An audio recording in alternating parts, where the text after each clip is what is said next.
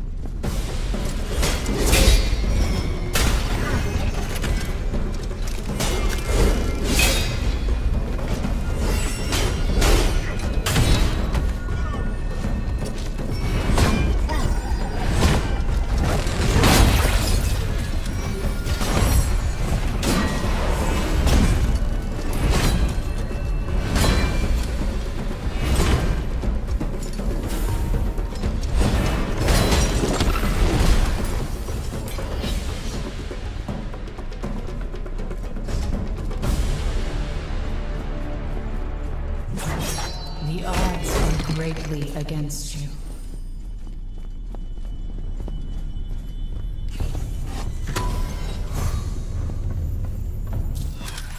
And I am not just some tool at your disposal, Orin.